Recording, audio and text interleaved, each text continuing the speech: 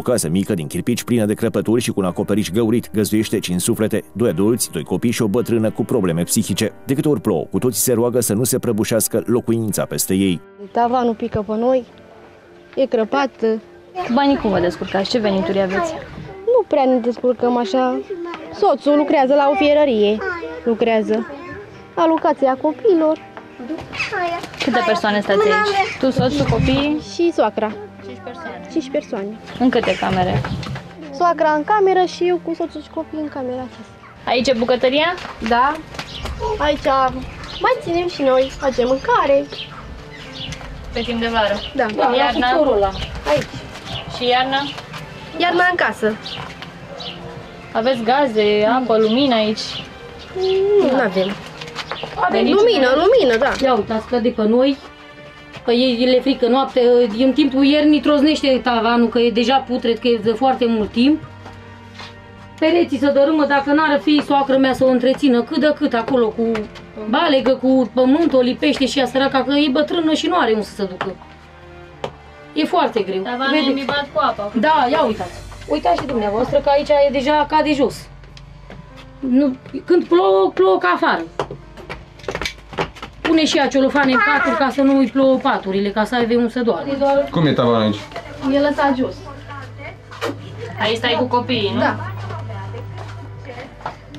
Vă este teamă? Da. Mai trosnește. E frică. Plouă aici, înăuntru? Da, plouă și aici.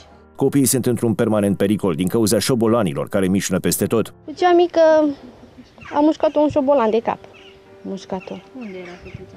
Era în pat, dormea și am auzit că plângea. Și când m-am uitat, e, curgea sânge. Curgea. Am mușcat. Șobolanul Fugise. Fugise, dar el șobolan era. Ce să fac bine, că e găur. E casa de pământ. Te dărâmă mereu, o lipește soacră mea mereu. Ce să facem? În curte sunt în total șapte copii, pentru că aici locuiește și celălalt fiu al bătrânei, împreună cu familia. Acesta are casa mai stabilă, însă nu-și poate lua rudele alături pentru că sunt prea mulți pentru a locui în două camere. Copiii mei sunt mari la școală, ne descurcăm foarte greu și noi. Că dacă am putea și noi am ajuta, nu trăim decât într-un ajutor alocația la copii. Soțul meu e cardiac, e bolnav foarte rău, nu putem. Nu aveți unde să-i țineți la dumneavoastră în casă. Păi nu avem, că am două camere doar.